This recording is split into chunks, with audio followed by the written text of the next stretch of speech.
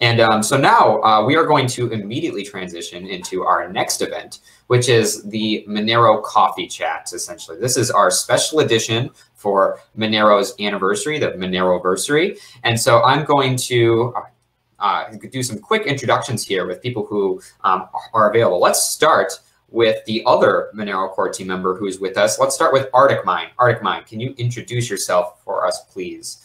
Um, you may have to unmute yourself.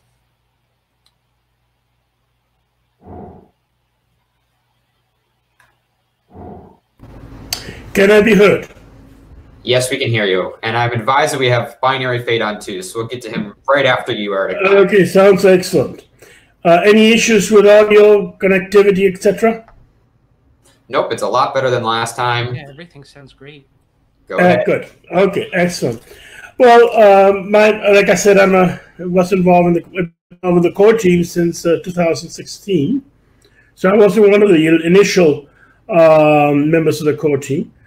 Um, I got involved with Monero in uh, 2014, essentially as an investor, um, and then spent a lot of time doing research on certain aspects of, of the project. Um, my background is physics and mathematics. I did my degree in physics, it's a PhD, and mathematics, uh, and I've also done a lot of investing. I work a lot in the nonprofit area. Um, and so my main interest in the project, which is interesting, is something a lot of people really don't associate with Monero, which is scaling and on-chain scaling. So that's in the project outside of being involved in the coaching, which is totally separate. I mean, working on block size scaling algorithms and how you're supposed to price these things and so on. It's really totally independent. It's analogous to what Ricardo was mentioning before.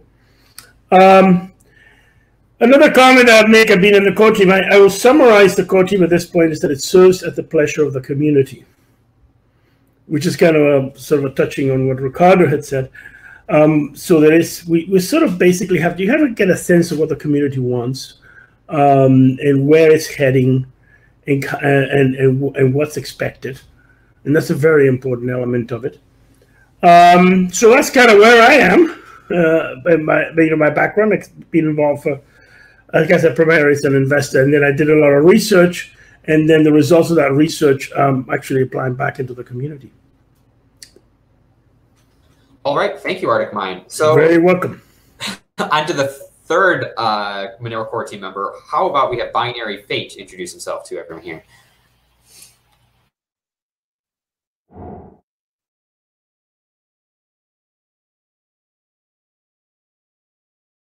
All right, Binary Fate, are you available? Looks like he was on the back. He's, he's running. You can see him in uh, one of the other one of the other panels running to the screen. Okay, go ahead, Binary Fate.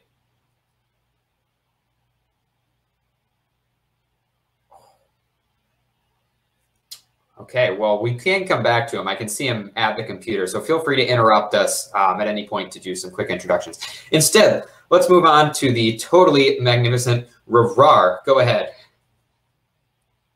Hi, I'm rehrar. My name is Diego Salazar. Uh, I do things uh, in the Monero community. I, oh, wait, no, there's Jeremy and he's he's cooler than I am. So let's I, I will. No, you, you should finish and we can move on to Jeremy. Oh, okay, okay. Uh, so I, I do some web work stuff. I do some.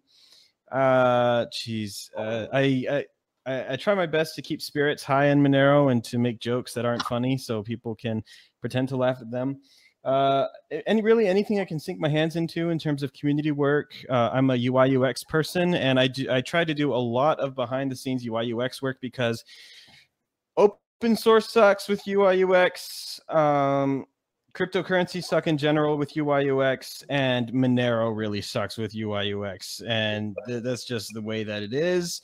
Uh, I'm trying my best to make that a, a a different story, but this is the story that we have right now. And it, I mean, it's not Monero's fault. There's just a bunch of nerds working on it that don't know anything about design, but that's okay. That is okay. We love them for who they are, right?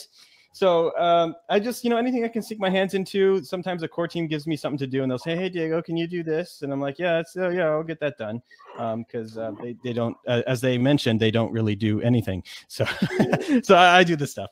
Uh, but that's that's that's me. That's what I do, and I go on long rants, and you'll hear a rant from me later on. Uh, Justin actually scheduled a specific time for me to give a rant today, uh, and it'll be like 45 minutes long. And you all are in for a treat, let me tell you. But I'm gonna, for now, I'm going to give the floor and the microphone away before I talk too much and get into one of my ants preemptively. So bye bye.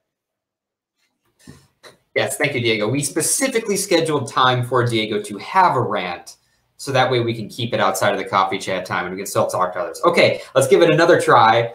Binary Fate, can you introduce yourself to us, please? Yeah, can you can you hear me? We can hear you now. We can't see you, but we can hear you. And that's what's important. I disagree. Binary Fate is a beautiful man, and I would love to see him. It's possible. Yeah, we're, we're trying to fix that. Yeah. Uh, There we go. There we go. no. hey, you're beautiful too. yeah. So Justin, what do you want me to talk about? At first, let us know who you are. Yeah. So uh, binary fate. Um, member of the Monero core team. I'm involved in Monero uh, both with the actual project and then with the ecosystem from very early on um, because I was in, you know, doing stuff in cryptocurrencies out of uh, personal interest from a technical or ethical perspective, even before Monero. And then when Monero came up very quickly, it was just like a match in heaven for me. Um, but I was also very interested to build businesses and uh, make a living in that domain. And this is what I've been trying to do with Monero as well.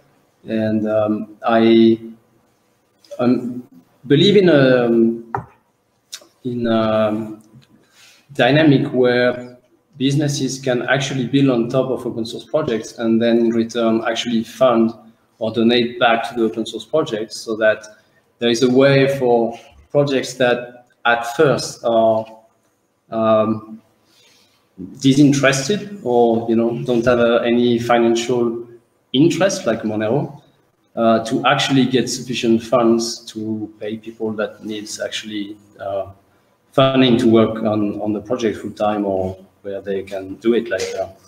So I'm I'm I was blessed to uh, create businesses that could give back to Monero to fund various um, uh, foreign funding system and now crowd community crowdfunding system.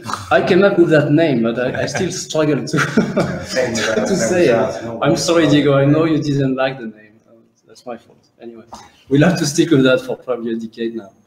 Um, anyway, uh, so that's what I was doing like in my professional life, which is to do to develop business on top of a layer in which I believe, and try to give back to that uh, to that layer, which is Monero, and then on, on the personal side, uh, try to contribute, contribute what I can as a member of the community first, and, and then as a member of the core team. Uh, I'm sure you're. I'm sure you're going to introduce uh, the brand new uh, website you announced earlier today. So, would you like to mention that again here? Yeah, so um, I had a very short night yesterday, and, and actually a bunch of short nights uh, in the last days uh, because we were trying hard to push to actually release uh, today, which was tough, but we made it. Uh, so it's uh, it's called Minco.io. It's a gambling website, so it's a game uh, that is probably fair, and uh, it's actually really fun because you can you know, even if you're not into gambling, you can really see that the the actual network and the the software is working so well. So you can just go to a meetup and use that to uh, demonstrate that when you send a transaction, you actually see the result in just like seconds. Um, so I think it's great also to introduce newcomers. Um, but uh, the, the the idea, yeah, in general, of course, it's a business you know, it has, it's not related to the actual core team. Uh, but for the first month, we will donate the entire profit to the Monero General uh, Fund that the core team then uh, uh, administer. And uh, we will most likely continue, you know, giving donations long term after that. We, we have to find a good model. We have to also to see uh, what traffic and volume we get to take the decision. But for now, basically, it's a cool game. You can go to minco.to and either you get money, you earn money if you win, or if you lose, you are effectively making a donation to Monero. Yeah, That's good. Yay. I think we all should have brought our own uh, audience applause background riffs. Um, anyway, thank, thank you so much, Binary Fate, for introducing yourself. all right, uh, Sarang, can you introduce yourself to everyone here, please? All right, can you hear me okay? We can't hear you. Hey, I've had perpetual problems with Jitsi, but it's apparently working today. So, uh, my name is Sarang Noether, um, and I am one of the uh, two full-time researchers with Monero Research Lab. I actually started with Monero um, back like in the pre-RingCT days in grad school, just kind of doing part-time work for uh, Ricardo Fluffy Pony um, on doing some kind of just initial review work, and then kind of uh, kind of slowly like let that kind of slide to the back burner. And then after grad school, uh, joined up again full time with Monero Research Lab, and uh, now that's what I do. Completely supported by the community. Um, I, along with um, my counterpart uh, Brandon, who is a Surae Noether, um, we do protocol analysis and design and feasibility testing. Uh, we do security reviews. Uh, we write papers, have meetings, all sorts of things. So I guess I kind of like to say that we do math so that you don't have to. Um, and part of our goal is to try to make Monero, as it currently is, as safe and as private as possible. Um, and another goal that we have is to kind of figure out what's going to be next for Monero and figure out how to take things that are done in the cryptographic space kind of more academically and see what's feasible to bring into Monero um, kind of from a practical perspective. So we do a lot. And I personally am super thankful for um, the amazing community that we have. I mean, nothing that we do could be done without the support of the amazing Monero community. Okay, thanks again, Sarang, for having you on. It's always a privilege to work with you on things like the Breaking Monero series. Uh, I want to point out that Surae Noether Brandon um, unfortunately couldn't make it with us because he's currently at Clemson speaking about how he made Monero more secure. So he's doing his actual job right now rather than just sitting in a like sitting in front of a camera, unfortunately. Uh, so I'm sure we'll be able to speak with him some other time. We're trying to get together and have more Breaking Monero episodes in the future. All right, needmoney90. Your turn.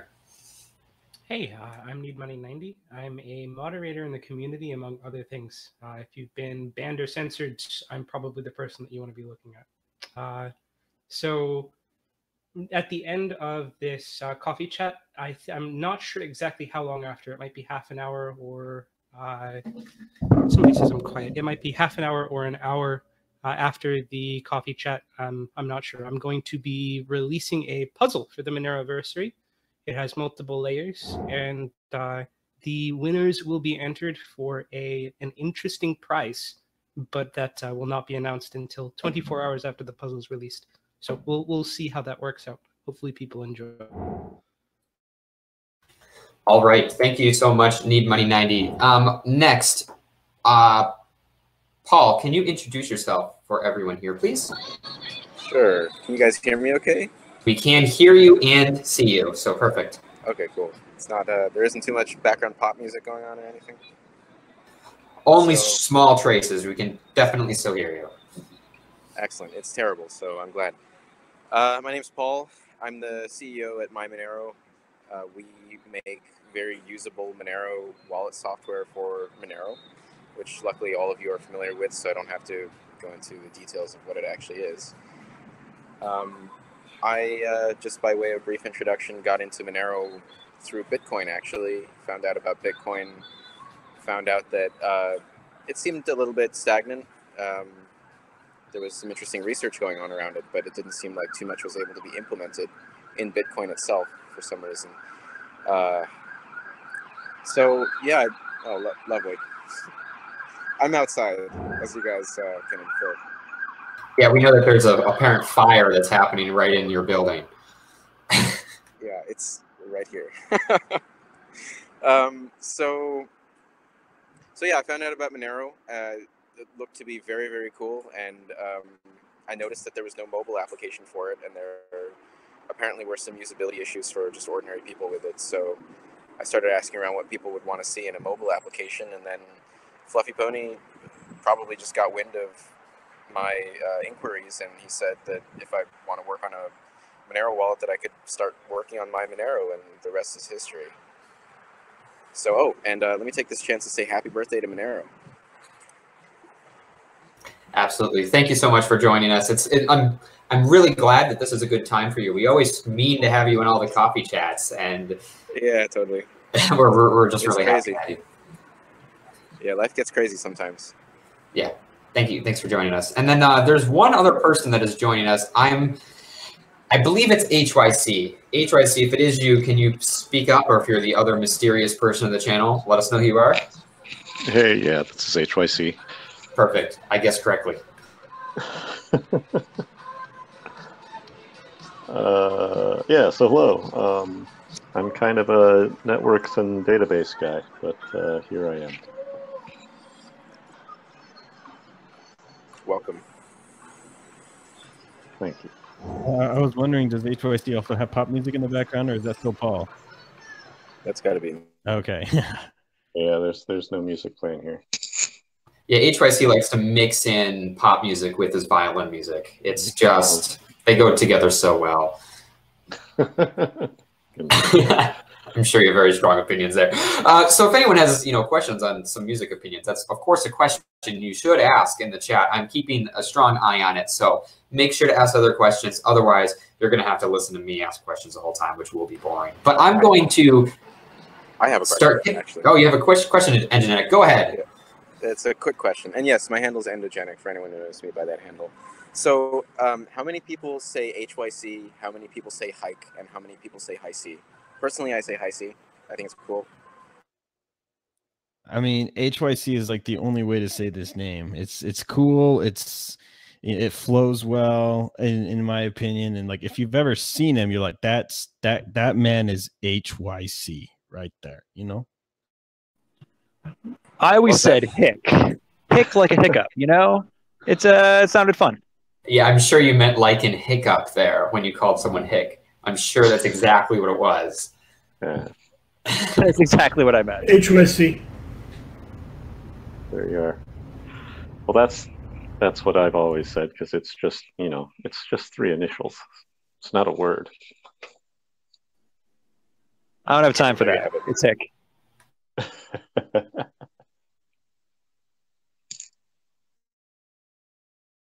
Yeah, again, thank you everyone for joining us. So, um, one question I want to start us off with um, there's a lot of people that are joining us. They might be watching this uh, and might not otherwise be very engaged in the community. They, they may have some interest in Monero, but aren't the people that are typically going to every every meeting and every sort of event that Monero is hosting uh, because we try to get this event out there. So, um, I, I guess I can start with uh, Diego, and then we can expand to others who want to to address this topic. What are some ways that we can get sort of newcomers to get interested in helping? I know that Ricardo mentioned sort of the magic that was involved with Monero that got many of its original contributors interested in, in helping. How do we really keep this going as the community gets larger?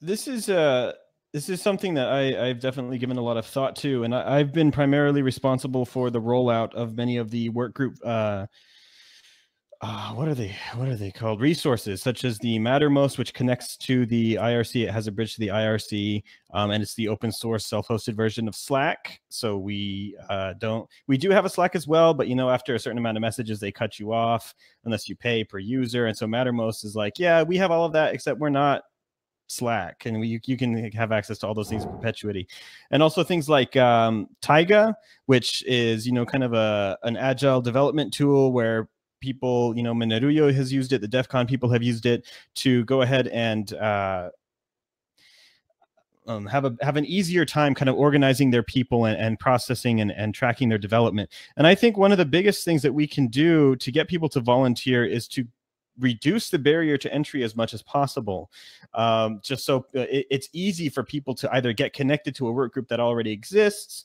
or have the resources necessary to kind of launch their own work group. And a lot of people can get stuck. They're like, oh, I want to do this, but I, I don't know how I would organize people or I don't know how. And so that's the, you know, kind of where Mattermost and Taiga and these other things come in. Was like, okay, these things exist. If you want to do this, here's a platform for you to do it. And it's already up, it's already set up for you to, to do this type of thing. And I can help you through it.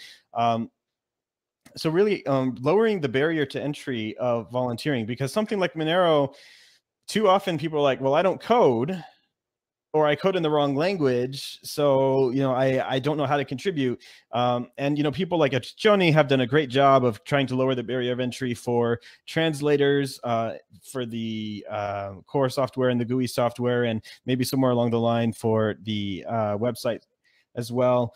And it, it, it can be tough because a lot of this requires outside the box thinking. A lot of this requires, okay, I don't code. How can I help the Monero project? Um, and it depends on how much free time you have, how much passion you have. You know, sometimes if you're going to put a lot of time and effort towards this, you might want to get compensated for this, which is not necessarily a bad thing. And we have a system for that, the community crowdfunding system. But, uh, you know, that has its own strengths and weaknesses.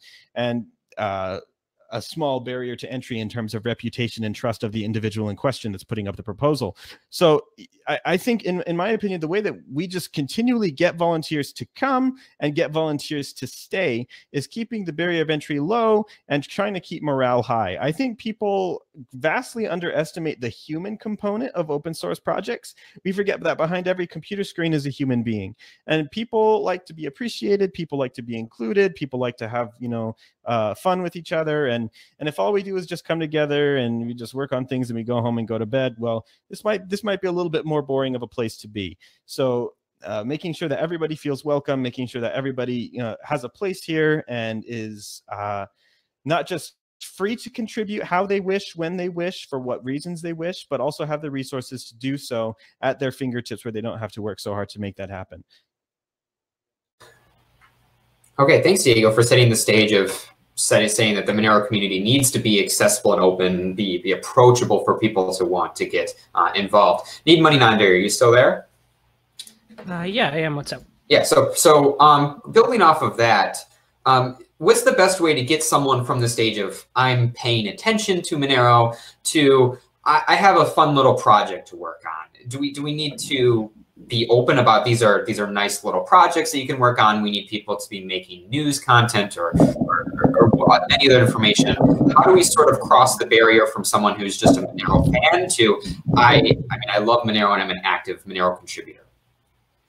Uh, so if, if you're looking to actually contribute to the community, there's two different ways you could go about it. One is if you already have a pre predefined idea that you want to actually see created, in which case, I mean, go for it or try and uh, find people who are interested in helping you with it.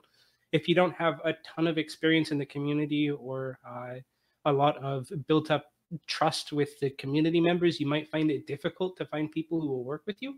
Um, but that just means that you need to either do it on your own or try and convince people. The other would be to contact either the Monero outreach work groups or any work group that has an association with something you're good at. It doesn't need to be code. I mean, code, you can go to Monero Dev, that's easy. Uh, or open GitHub issues or start fixing things. Um, that's probably one of the lower barrier entry things. Um, the other stuff would be if you if you're dual uh, bilingual uh, or trilingual or whatever, you can go to the localization work group and help us with our strings.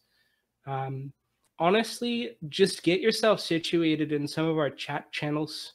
Uh, send a message to people, say hello, this is what I'm good at, or I'm interested in helping out and you'll find more than a couple people will speak up and tell you, hey, here's a couple things that we actually need done. So yeah. Um, I, this is going to be an open question I'm going to put out. Um, so when I generally tell people how they can get more knowledgeable and also to contribute to Monero, I generally refer them to the Monero Stack Exchange because they can read all the resources there. If there's a way for people to even start off by you know, improving the grammar or updating sort of the the uh, updating the answers so that they're relevant for for an update or, or whatever it might be. Do you think that that's a good approach, or do you think that it needs to be more more specific than that, or, or a, another approach entirely makes sense for most people? I, I think Stack Exchange, unless you're like pretty intimately familiar with the protocol, is going to be an exercise in futility.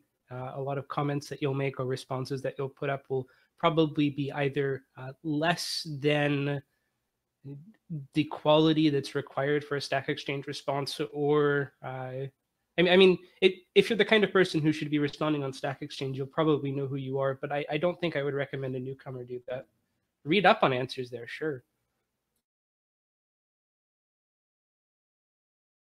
All right. So um, what's so uh, Sarang, uh, we, we sort of work together to help get newcomers involved by explaining things for people, or at least our, our, intent is to sort of dummy down a lot of the content that's in the research paper into something that's at least a little bit more comprehensible. We did this for a, bulletproof conversation where I had you on and interviewed you, and we spoke for I don't know, maybe an hour and a half or so about what bulletproofs are and in a way that is at least easier than reading a paper.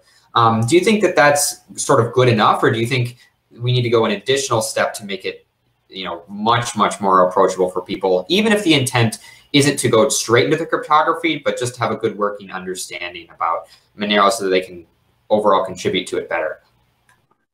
I mean, I think it's kind of a tough one, right? Because there's a whole lot of different things that go into Monero, um, and it's a lot of different pieces of math and cryptography that I mean, to really fully understand how the protocol works, you know, you've really got to grasp all of them. Um, you know, and and to some extent, I think that you know there's a level where you can kind of talk about, oh, this is kind of what stealth addresses do on a very broad level, and this is kind of what RingCT does. Um, but at a certain point, like you kind of hit a you kind of hit a spot where you know you kind of have to go into the math a little bit. And i guess i like the fact that we have different levels of resources available. You know we have stack exchange which you know can be really good for specific questions that maybe don't need to get too technical but can get technical if we need to. We have resources like mastering monero which is great for kind of taking someone who has no idea what this is and kind of giving them kind of a first look at what it is and then we have something like zero to monero which is a great resource that I look forward to seeing updated. That is kind of the closest thing we have to a protocol specification. Um, and and I guess I like the idea of not necessarily having something that starts from the beginning and runs all the way down to the nuts and bolts, but you know, have have something that's ready and available for people at whatever level that they're at.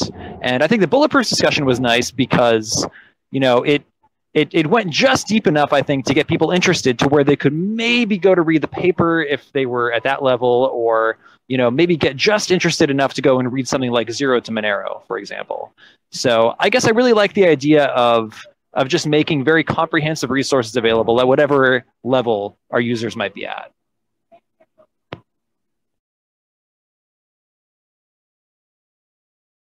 All right, thanks, Ryan. How do we? I mean, do we need people that already know a lot to, to make these resources? Or do you think that um, there's a way for people who are trying to learn more to sort of make it a, a research project that they do? Um, you know i'm not really sure. Um, hmm. That's a very interesting question. You know i mean i would say anything that kind of involves like the base level math or the cryptography you know you've really got to be you've really got to know your stuff to be able to contribute well there um, that being said, you know, I, I, don't think that should scare anyone away from getting involved. Um, I mean, one thing that I've kind of, kind of at a broad level, would like to see from the research side is for us to have more kind of small, self-contained projects available to people who are, you know, who have who are interested in Monero, who have kind of particular areas of expertise that may not align with those of other folks in the research lab area or channels, um, but still want to be able to contribute to self-contained projects. Um, so I guess I'd like to see us become more more accessible in that way from a research perspective. Um, but at the same time, I guess I also acknowledge the fact that you know being able to make kind of a comprehensive guide to something about Monero's protocols does require a certain level of knowledge already about those protocols. And I think to some extent that's kind of unavoidable. ArticMine, you really enjoy um, ex explaining um, Monero's scalability properties. I know you gave the talk at DEF CON that it was understandable by many people. So what was your approach for taking, you know, the, the complex issue of scaling? We, we've, we've seen uh, many debates within the Bitcoin community about how Bitcoin should address scaling, and there's a ton of disagreement there. How do you approach explaining such a complex topic for people, and what's what's the purpose, or what's your reasoning for for really trying to do that? Well, th there's a couple of things. I mean, I actually got involved in Monero because of analyzing and studying scaling in Bitcoin. I mean, this was I was literally um, running searches and Bitcoin talk regarding the scaling issues in Bitcoin, and I came again a post, I think it was on Ristopitsilia, about MRO, which used to be before, that's even before XMR came on, and I went into details of why this just just just mentioned didn't mention what I was looking at, but at least at the time I had enough um, respect. I said, okay, I'm going to take a look at it in detail, and then I realized it addressed fundamentally all of the concerns that I had about scaling in Bitcoin. Now, from a point of view of getting people involved, my, if I've shared my own experience, I was brought into the community because of a particular field. And then I recognized it wasn't that sometimes you can just specialize in something, make it work, and then contribute back. Now, I spend a lot of time researching this in Bitcoin, primarily as an investor. I was looking from the perspective, is this thing a viable investment? And then I realized when it came that Monero actually had the problem solved. And then it comes to the next stage where I say, well, okay, you have all this knowledge. Now I can contribute it back to the community. Are we having technical issues? I can Good. hear you fine. Yeah, okay. Um, now we could, and now I can use that to contribute back to the community. You know, my opinion is a very critical component but it's one that hasn't really been explored by a lot of people. It's a lot of opportunity if you want to get into this field, by the way, um, because it's sort of it's totally separate from the cryptography, uh, cryptography aspect that, for example, uh, Sarang was talking about. I mean, you can apply a lot of the very same formulas to another another uh, coin, such as, for example, um, Dogecoin or Bitcoin, but you, have fundamental designs in the cryptocurrency that make it impossible. You, uh, you, need a tail emission, for example. And, and so that's the, the, the element. The, the point that I'd like to get across, though, is that when you're looking at contributing to a project, if there's something you, you're really knowledgeable and passionate about, that's, and especially if a lot of other people aren't into that area, then it makes a lot of sense for you to contribute in that field. So for me, it was kind of an opportunity. This is something I can do. I can specialize on. I can contribute to the project in. Um, and the fact that relatively few people are doing it is interesting because you, you try to complement what everybody else is doing. And that's kind of my feeling. Uh, the big focus for Monero is privacy, fungibility, and anonymity. I would take the point of view that Monero is uniquely positioned for, um, for on-chain scaling way ahead of any other coin. Uh, we're ahead of Bitcoin, for example, um, because of certain characteristics of Monero that make that possible. And that surprises people because a lot of people think, well, wait a minute, the scaling debate in Bitcoin. Well, the scaling debate in Bitcoin is, uh, to a large degree, driven by a lot of design flaws in Bitcoin itself, in my opinion, which materializes then in these human conflicts, uh, social conflicts that we see. But yeah, but I think that's what I'm saying. So, so if there's something you're interested in, in aspect of a project, and especially if it's something that's not being looked at a lot by any, by other uh, members of the community, that's a great opportunity to get involved. And you may actually be the pioneer, the person that actually is contributing where nobody else really has done a lot in that particular aspect of the project. That would be my, my sort of thought on the issue. And quite honestly, I'd love to see people learn more about blockchain scaling um, and the issues and the relationship to emission rates and the, and the relationship to fees um, and how all these things interact together. Um, it's quite a different aspect of the project from, say, a lot of the cryptography that we're working on. It is actually applicable to a lot of the projects, but it's very unique to Monero because Monero is very well positioned for that. So those are kind of thoughts on that.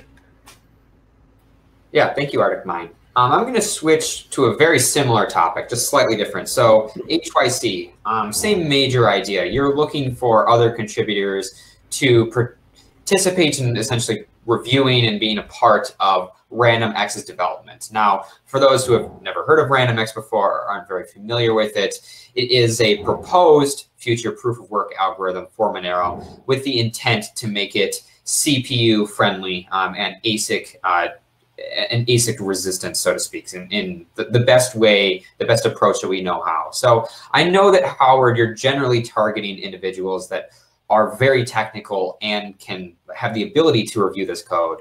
But how do you go about approaching people who aren't currently in the Monero ecosystem and encourage them, basically get them to actually become a part uh, of this project? Is that a difficult sell? Is that, is that an easy sell? What's your general process there? Uh, well, that's an interesting question because, you know, uh, when I first came up with RandomJS and it was just myself, um, you know, currently we have three people working on RandomX, and the other two people just came up out of nowhere. So just following their own curiosity. Uh, so I didn't actually have to go hunt for anybody at, you know, at at, at the outset. Um, I'm not sure how they heard about it, but you know, whatever they did hear about it, they saw it as an interesting problem, as an interesting technical challenge. And I suppose that's the same thing, you know, that kept me here myself, right? Um, you know, my own involvement in Monero has expanded over time from originally just looking at the database aspect to looking at other things such as the network communication and now the proof of work. Um, so it's just a matter of getting getting an idea in front of the right eyeballs you know the right people who just have that kind of curiosity and and they're looking for a technical challenge that you know that ignites their interest. Um, now so that so that's one part of your question. You uh, you also asked about how we find reviewers and that you know that's a completely different set you know we we actually have two professional software review teams now uh, putting proposals together for us.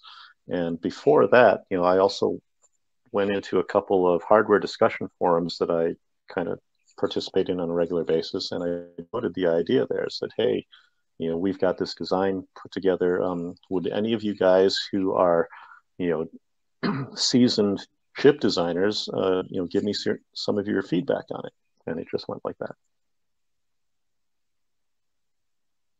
Awesome. Um, one one concern I generally have um, is that things sort of seem to have fallen in place for Monero so far, at least in this one way.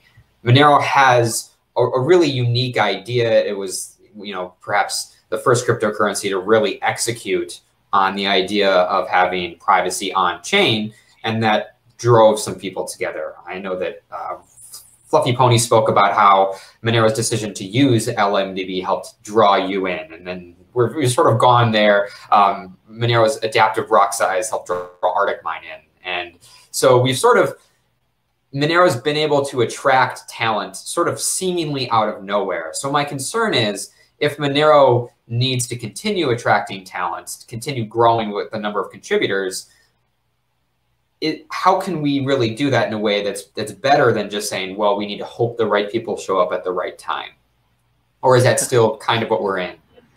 That's a good question, but you know, you know, um, where did DSC come from? Who's now working on the GUI?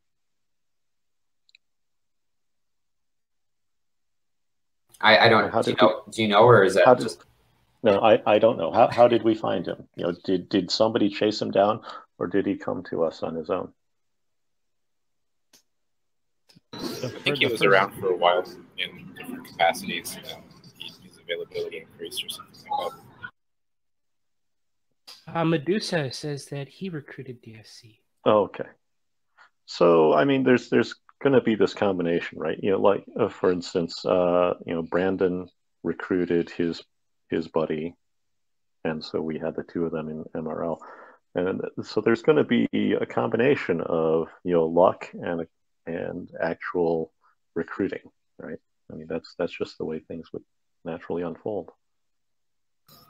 I do want to say, though, um, it's all right that I speak out of turn here. That uh, I've heard of a number of people who have said that they they would normally be contributing to Monero, but the code base is too imposing, or they're not sure where to start. And I think that we could make some progress there for sure. Yeah. What, do you have any specific recommendations there? Oh, for sure. Yeah, I mean, the code base is um, the code base itself could definitely be cleaned up. Uh, I would say that certain aspects of it are a little bit redundant, like some data structure declarations are a bit redundant. other aspects of it are well factored, like the core crypto stuff is pretty well done. Uh, but a lot of the stuff that approaches the business logic layers have been maintained by so many different people that uh, it's just become a little bit of a rat's nest. And that's the, that's the sort of area that you actually want people to be contributing at.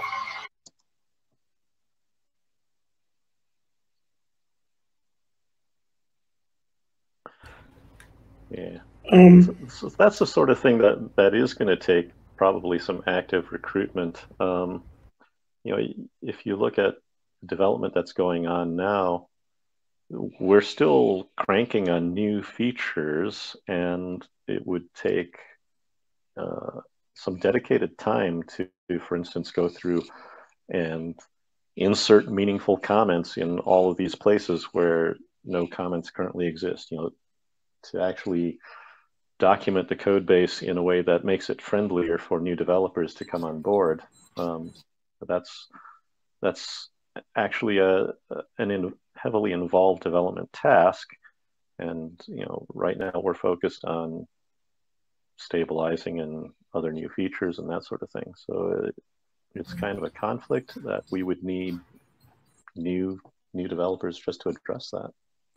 I would I would uh, suggest, though, that there's the relatively strong argument that code that's well enough factored will end up in functions and modules that are effectively named and organized such that they comment themselves, or at least not 100%, you know, right? Because sometimes there's some, um, uh, like, not, not clandestine, but like, you know, uh, non, non, not completely obvious uh, implementation detail or justification that is wrapped up in certain structures, certain code structures. But um, in in those cases, it makes sense to comment it. But uh, I tend to find that code that like really needs excessive commenting, there's there's probably an architectural problem there.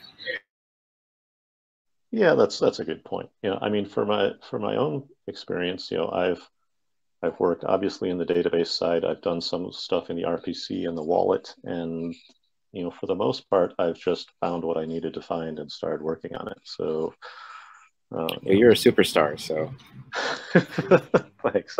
But um, yeah, in, in, any large code base, you know, the the way to to know where to find things is just to jump in and start reading. You know, it's, it's like it's yeah, like, it's true. It's like reading a book. How do you how do you get to understand what the story is inside this book? Well, you sit down and read it one page at a time, and that's just what you do. Yeah, thanks, thanks, Howard and uh, and Paul. Um, I'm going to move back to Sarang. So Sarang, um, we spoke. I mean, the other two spoke about a developer perspective, how to get more developers involved. Um, Sarang, when you're at a conference and you're speaking with people about Monero, I know that you've been to academic conferences and you've been to less academic conferences or more educational or, or business focused conferences and you've had to speak with with both sets of individuals about what you're doing with with, with Monero. Um, have you had any success at speaking with them about Monero, and then they later went to uh, become more actively involved? And what were your, what were sort of the best ways that you reached out to these these people? Um, so so we've always had kind of a kind of interesting relationship with academia, right? Um, you know, to some extent, you know, a lot of academics kind of go off and, and start companies in this space and kind of make their stuff proprietary. You know, some academics stay very, very strictly within the university system and do kind of the publication there.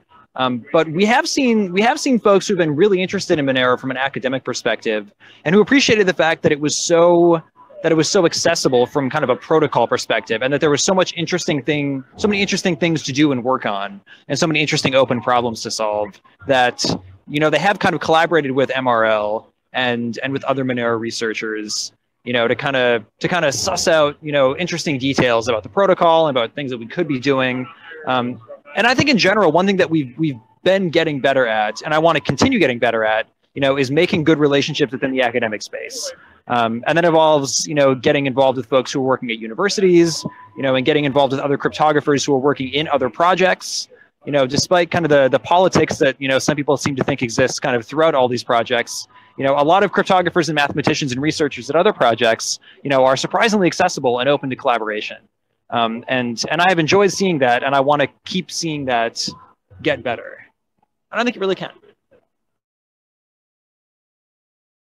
Yeah, thanks, Rang. Um, so binary fate, I'm going to go back to you. So so get, get ready here. Um, so binary fate. Um, you have built many applications on Monero. You've had the courage to build some of the first systems that Monero uh, community has really used, including XMR.to and many other things. What really, what, why do you think that you sort, or what gave you the motivation to really go out and start doing this? And what can we do to get other individuals to get out and build other things on top of Monero 2 like you've done? Can you hear me? Yep, we can hear you. All right. Uh, I struggle to hear the question um, because there's a lot of noise around here. We're having fun. Yeah, sorry uh, to interrupt your fun. yeah, you're asking uh, how we can encourage people to actually build services and business on top of the Monero project, right?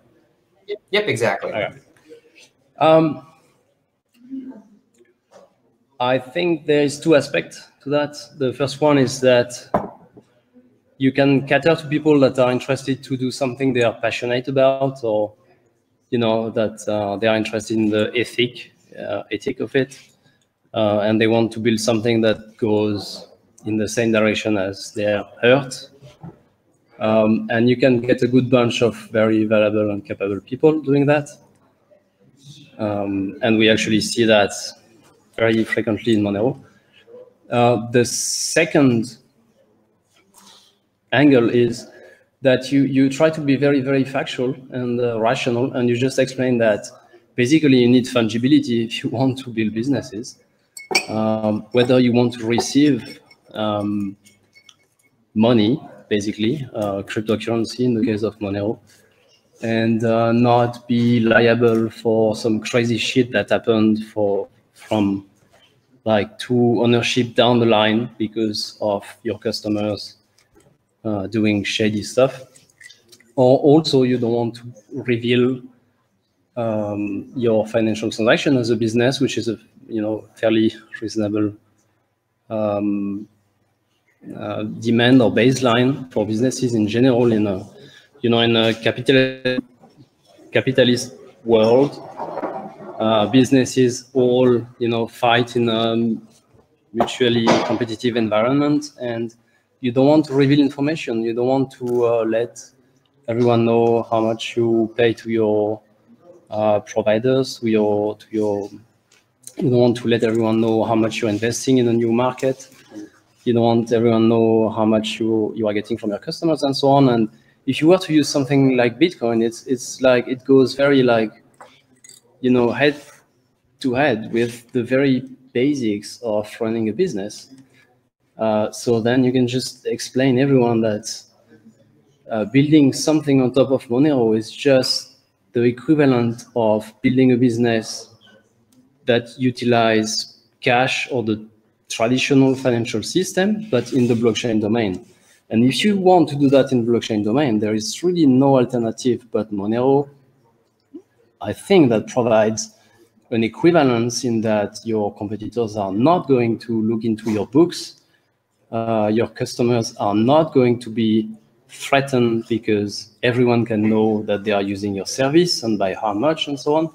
So um, I think you can just explain people that what they took for granted in the like legacy traditional world that we have that we knew and have been accustomed to, you know, the usual financial system and, and the cash and fiat system, if they want to keep operating on the same premise, but in the blockchain universe, then there is no alternative but Monero. Otherwise, everything is just a step backwards and it's just very threatening to any business.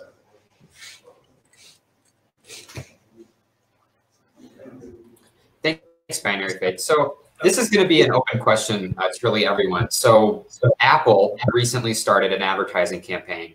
This has nothing to do with your, what you think of Apple, um, but they have a campaign based off the idea of privacy matters. They show um, images, uh, videos of individuals that are trying to protect privacy in everyday life.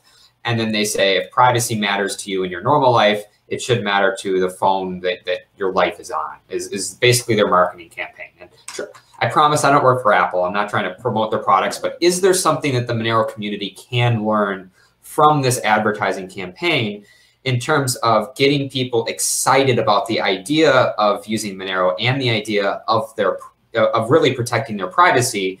Because generally at the moment we write privacy off as something that most people sort of don't really care about or something that's really low on their list of actual priorities based off how they interact. So is this for, from this ad campaign, is there something that we can learn, can we learn from this in terms of getting the word of Monero out there? Why are we not? Yeah, I could chime in on that. So I think that one of the reasons that Apple's message uh, has some weight to it, or the reason that people are really paying attention to it. Diego, are you busting a busting a jam to that pop music? Nice. So Yeah, um, you know it. Hell yeah. So, like, I think that the reason why it has some weight to it is that Apple is already influential uh, from a usability standpoint. A lot of people are using their products, and a lot of people are therefore paying attention to them. And one of the things that I've noticed with Monero is that uh, you don't really get a ton of people using uh, technologies that are not really that usable. And so I think that we could do a lot more to improve the reach of Monero first, first of all, by improving its usability, which is something that Diego touched upon. I would love to see uh, someone show up and add a, a MyMonero iOS plugin for Apple Messages, for example, so that they could send Monero through Apple Messages or an Apple Watch uh, extension for the MyMonero iOS application. Because you know, the more the more usable and the more integrated these things are with people's ordinary lives, the more that people are going to start to realize that privacy is not something that uh, that's out of their reach. Um, and aside from that, I think that from a marketing standpoint, we can probably start to convince people a bit more effectively by telling them, by by by making it clear that this information that they expose uh, in non-private manners can get stored forever and revealed by any disinterested party at the drop of a hat you know, simply because those, you know, for example, corporations that are storing all of our information, they, they just don't care and they're not really being held accountable. So um, if we show examples of like catastrophes that have happened or the potential for that kind of thing to happen, and then we show people how easy it is, um, I think that could be effective.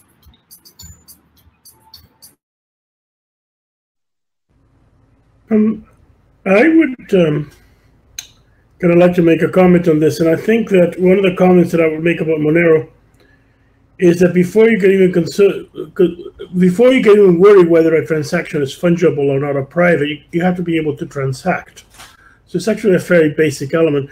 Um, if you want to uh, compare Bitcoin's uh, short, shortcomings, there are two shortcomings. Um, one of them is the lack of fungibility. And the other one is the lack of being able to scale. the lack to be able to transact. Now, in the early Bitcoin, of course, assume that Bitcoin actually had addressed these problems, when in fact it hadn't. I mean, the, the one megabyte block limit was something that was added to Bitcoin about 18 months afterwards in, in, in 2010. And at the time, fairly early on, it was assumed that the sort of pseudo anonymity that uh, the Bitcoin transaction provided by decoupling the the address from the from the identity of a person was enough to ensure fungibility and privacy, which in fact both have been proven incorrect. Um, so my comment on this is that if we're going to, is that we, I think we have to look at scaling also as an issue, as something that Monero has addressed. Uh, the second thing I'd like to say is that excellence attracts excellence, and that goes a bit to the previous question. And that is if you, for example, make it more usable, well, that's going to attract people to, to Monero just by that fact. I mean, that's an example. If you improve the quality of the code, then that's going to attract developers because they're going to find it easier to understand the code. Uh, and, and, you can think of many examples of that, but the mere fact that you improve the the Monero as a, as a currency is actually going to attract that extra level of interest, of expertise, whether it's individuals, users, or whether it's developers, or whether it's contributors. And there's an element of excellence that uh, attracts excellence. There's just not luck that we're getting people. We're getting people because we're doing things right. And I think that's an important thing to recognize. Now, come back to the Apple question. Apple, I think, is feeding on well-known concerns about privacy, particularly relating to, to Facebook, uh, to the whole scandals around privacy. There's an awareness of privacy in in the digital world now that wasn't the case even two years ago. Uh, and then you're basically capitalizing on it. So think the lesson for us is it's an opportunity for us in the sense that uh, there is a lot more awareness about privacy and fungibility uh, now than there was even like uh, a while back. And I think that's a lesson, I think, from that uh, marketing campaign of Apple is that they recognize that this is something to sell and they're selling it. Uh, and that, I think, would be the lesson that I would suggest is important for Monero there. So is that like a beacon of hope for Monero that the idea of privacy isn't, you know, a foregone conclusion or, or just completely discarded by most people? If we have a, a, large U.S. company that is that is marketing this specifically to people, is that a good sign to say there are people that still care about this and they're willing to to use applications that prioritize this? I would go further than that. I mean, I would say that there's been an enhanced awareness of privacy in a relatively last year to, to two years. Uh, and obviously, that's going to be very powerful for Monero. But Apple is responding to a trend. Large corporations like that tend to respond to trends. So, so they look at what's happening in the marketplace and they say, okay, this is an angle for us. We could position ourselves in this uh, element and say we're going to do about privacy. They, they're looking at a trend and then they're going to position into that trend.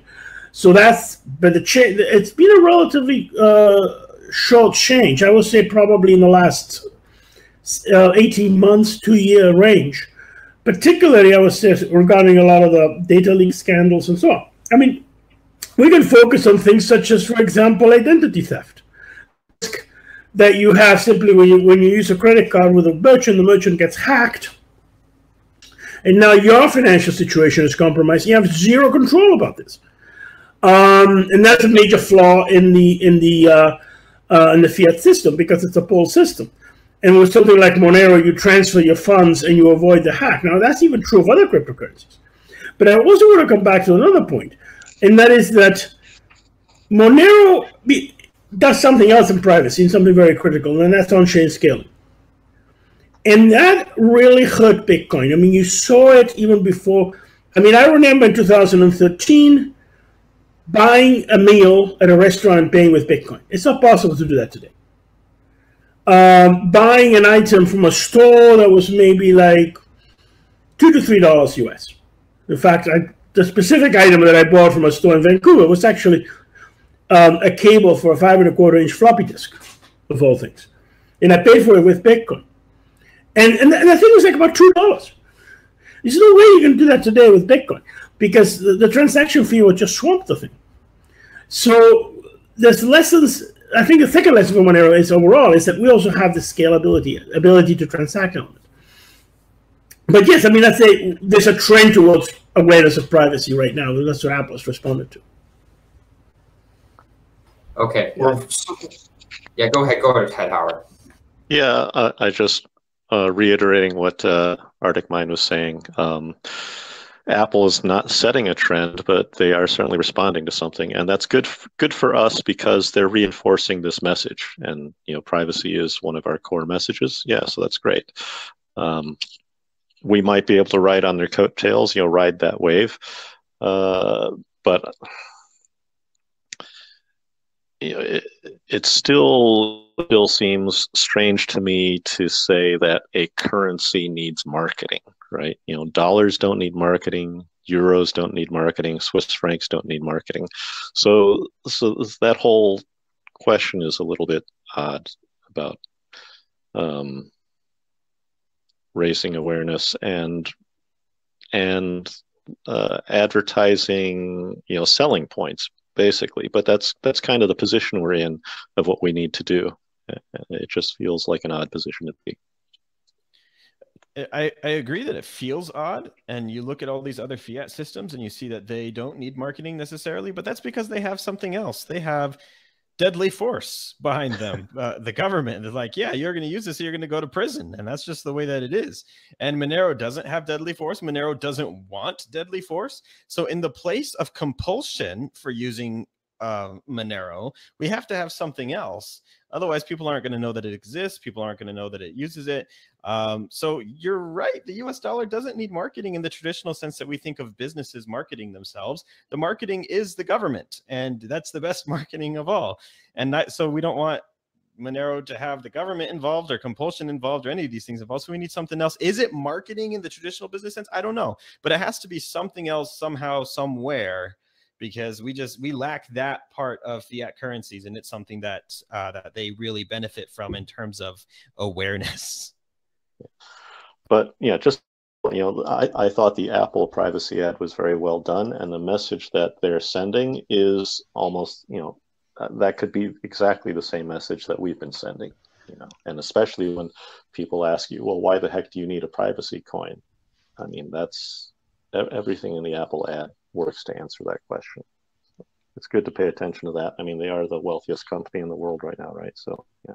Yeah, and I would, I would just, this is XMR Scott. I would chime in a little bit on that, the Apple thing as well. Like, it's incredibly important that, like, because we're arguably to a certain degree like competing systems for payment, right? You can either pay with Monero or you can pay with like Apple's credit card. And Apple is kind of arguably to a certain degree lying or telling a like white lie when they say, you know, Apple doesn't know what you're purchasing and so forth. Apple doesn't, but Goldman Sachs and I forget what the payment processor was, if it was Visa or MasterCard, but they very much know those details. So it's kind of like, sure, Apple's kind of like marketing this privacy slant of, you know, they don't know anything, but there are people within kind of that system that do and so they're sort of selling this false sense of privacy in my opinion. So we have to kind of as a community sort of fight against this false sense of privacy whether it's companies like apple or kind of like scam coins like verge or you know take your pick. Um, education a, a kind of an aggressive education almost is very much important i think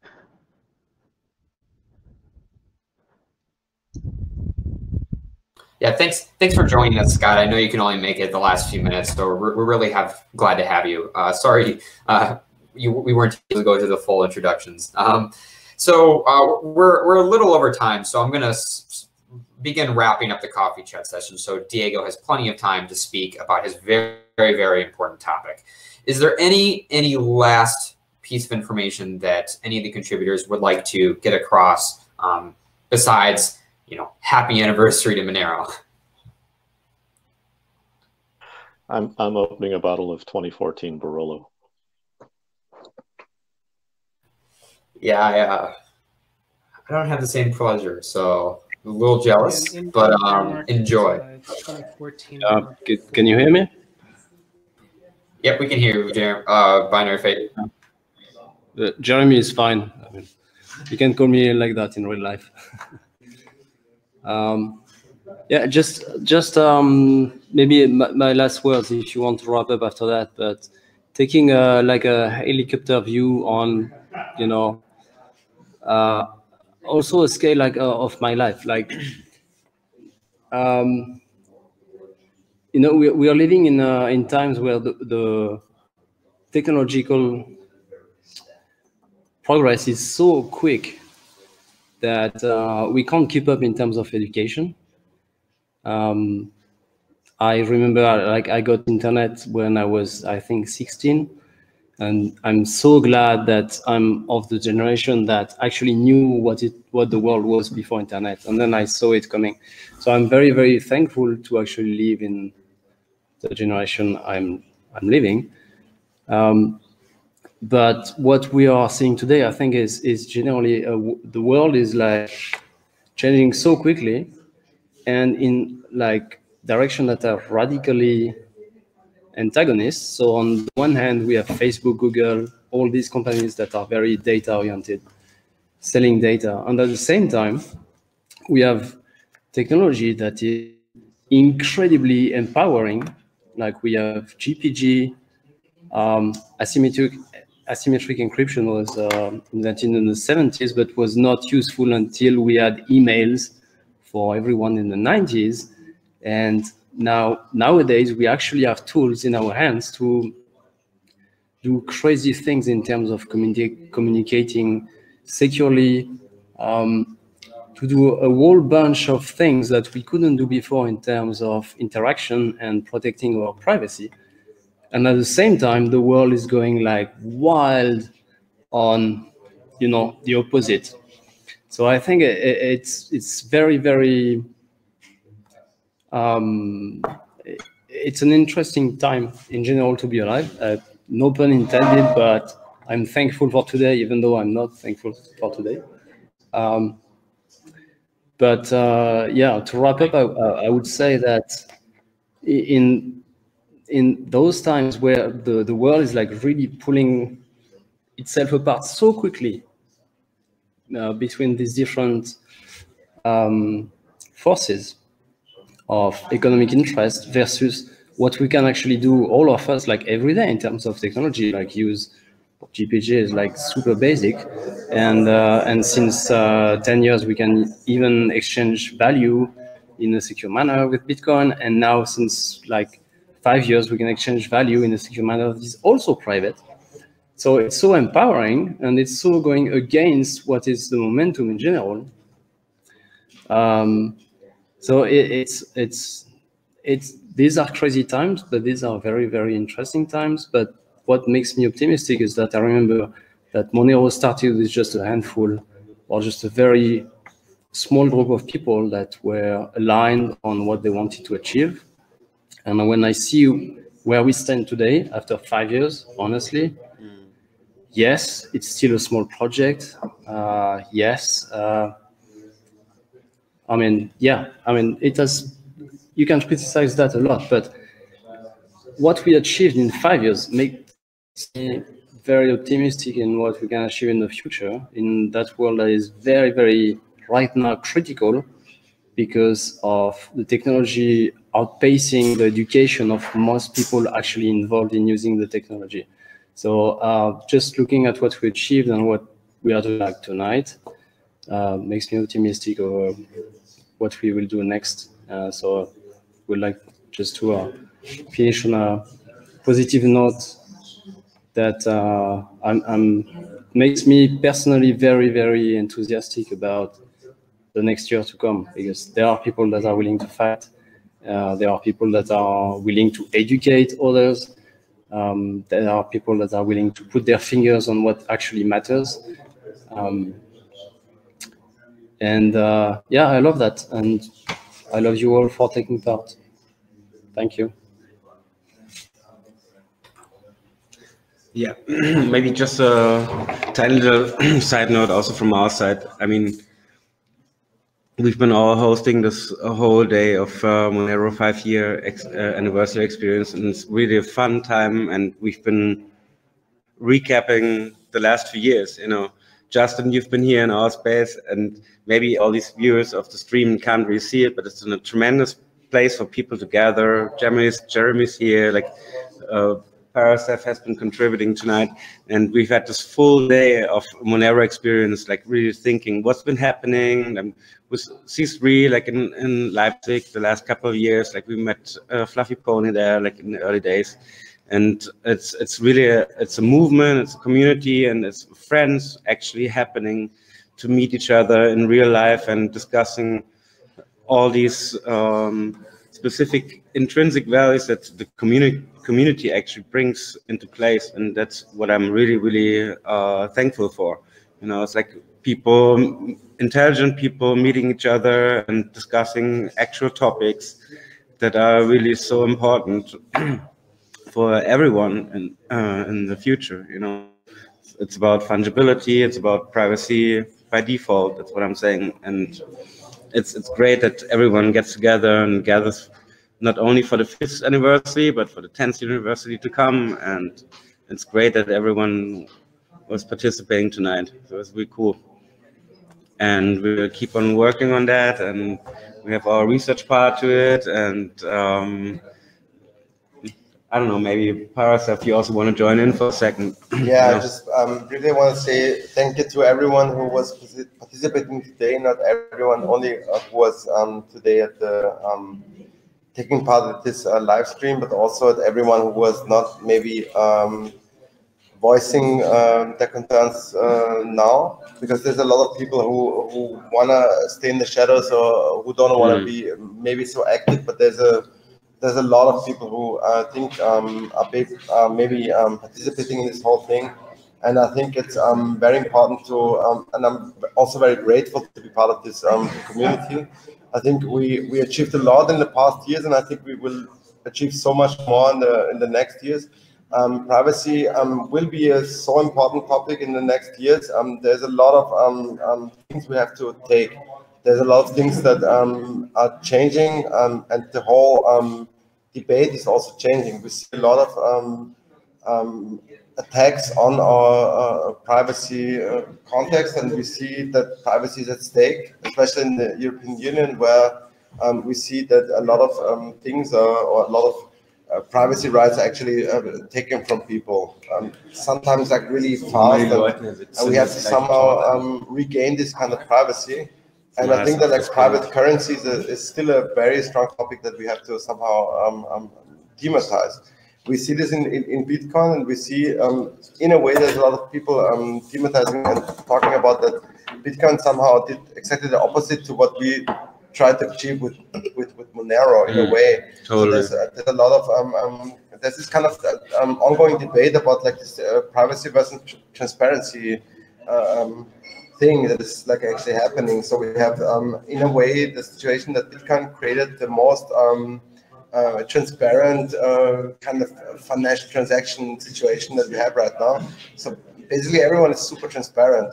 So um, we have to think about is that what we want as a society? Is that is Mm. that something that actually brings us forward?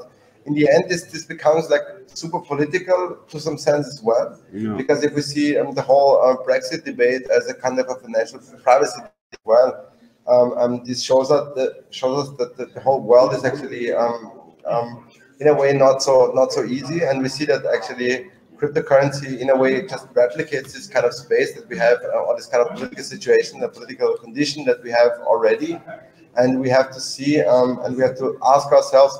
Um, um, do we want to um, um, really commit to this kind of transparent society right now?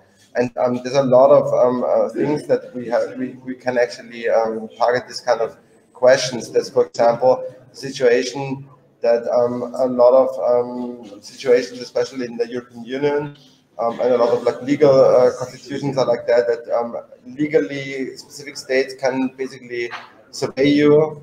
Um, there's a lot of attempts to conquer that. There's, for example, actually even from a hardware perspective, um, um, um, attempts to conquer Mm. that. There's, for example, the Librem um, um, hardware approach.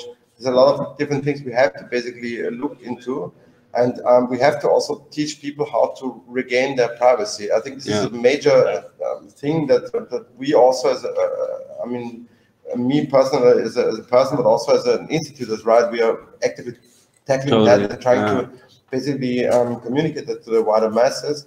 But um, in, in a way, it's always um, um, this kind of um, question of like, what do we want to achieve with that? Are we basically, um, um, in a way, um, fighting this war against terrorism? All this kind of kind of uh, like blunt uh, um, stories that are told in order to to keep away or like like to to to uh, in a, in a way like um, actually make it like more complicated for, for, for us for, for like people who are like uh, privacy preserving who are like um, um maybe coming from the cyberpunk movement and like trying to to to, to make sure that people can regain their, their privacy Hmm. uh, I- actually having a hard time to to, to do that and like to, to convey that to people because um there's this kind of ongoing like war against terrorism and this kind of shit um, um, while privacy um, is important, also terrorism uh, has to be stopped, of course, yeah. But uh, we, we cannot actually, um, um, uh, in a way, give up so many of our rights. This is insane. We, we have been fighting for so many things. Looking at the internet, basically, um, a lot of things that we have been fighting against and a lot of things we, we, we got with the internet have been, um, in a way, revoked and lost insane. We have to somehow regain this kind of um, um, privacy we, we, we know how to regain, and we have to actually make sure that this, this kind of technologies are available to people. It's insane that with, with Bitcoin somehow the opposite is like happening. we have Mm. to somehow fight for this kind of Definitely. momentums that we we have uh, these kind of situations are happening again. Okay. Go, go. Uh, so um, I think to summarize, education, and we are the forerunners. Maybe we are more aware um, than the masses of uh, what is going to be probably considered human fundamental rights very soon, like financial privacy and so on. Mm. I think we, we will finish on that uh, from our side. Back to you, Justin. Okay, thank you all three of you for participating, and of course, thank you so much to you know Binary Fate, HYC, needmoney90, Arctic Mine, XMR Scott, um, Sarang, Endogenic, and anyone else that I missed that participated in the coffee chat. Of course, Re Re Re He's up next with the important event. So.